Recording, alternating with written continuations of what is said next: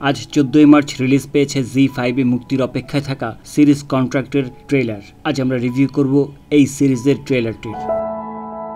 ট্রেলারটি শুরু হয়েছে বাস্টার্ডের back story দিয়ে। কীভাবে বন্ধুরা তাকে টিজ করত আর তার বাস্টার্ড হয়ে ওঠার গল্প নিয়ে। তারপর একে একে ইন্ট্রোডিউস করা হয় ব্ল্যাক রঞ্জুকে এবং তারপর আরেক মূল চরিত্র জেফ্রি বেগকে।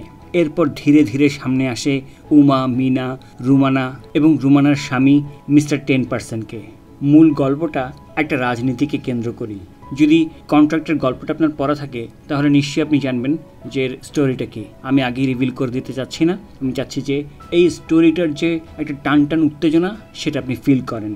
বাস্টার চরিত্রে আরিফিন শুভ, ব্ল্যাক রঞ্জু চরিত্রে চঞ্চল চৌধুরী, এবং সে খুব সম্ভবত আরও একটি চরিত্রে অভিনয় করেছেন এই সিরিজে তার মানে ডাবল অ্যাক্টিং মিনা চরিত্রে ছিলেন জাকিয়া বাড়ি মম। তিনি চঞ্চল চৌধুরীর মানে রঞ্জুর দ্বিতীয় স্ত্রীর চরিত্রে অভিনয় করেছেন। উমা চরিত্রে আয়শা খান। তিনি বাস্টার্ডের লাভ ইন্টারেস্ট এই সিরিজে।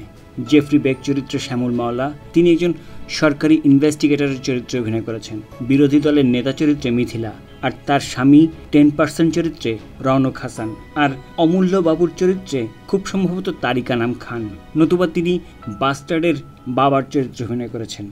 যদিও ক্যারেক্টারগুলোর সম্পর্ক ডিটেলসে দেখানো হয়নি। তবে যতটুকুই ছাড়া হয়েছে, তা আগুন ছড়িয়ে দেওয়ার জন্য যথেষ্ট।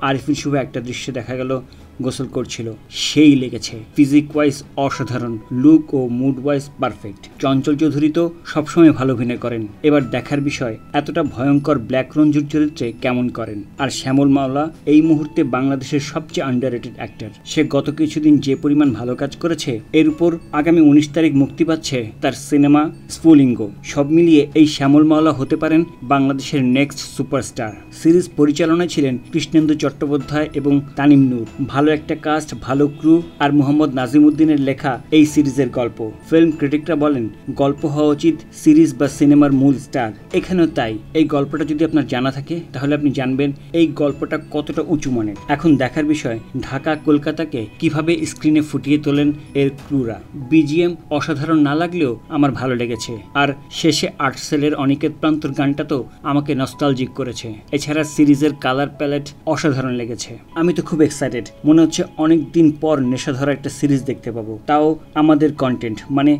বাংলাদেশি কন্টেন্টে আশা করছি ভালো একটা সিরিজ হবে। হোপ ফর দ্য বেস্ট আর আমি অপেক্ষায় আছি আঠারোই মার্চের জন্য। এই সিরিজ প্রিমিয়ার হবে আঠারোই মার্চ জি ফাইভে আমি তো দেখবই। আশা করছি আপনারাও দেখবেন। ফ্রিতেই দেখতে পাবেন এই সিরিজটি। ভালো কাজ দেখুন, ভালো কাজের সঙ্গে থাকুন।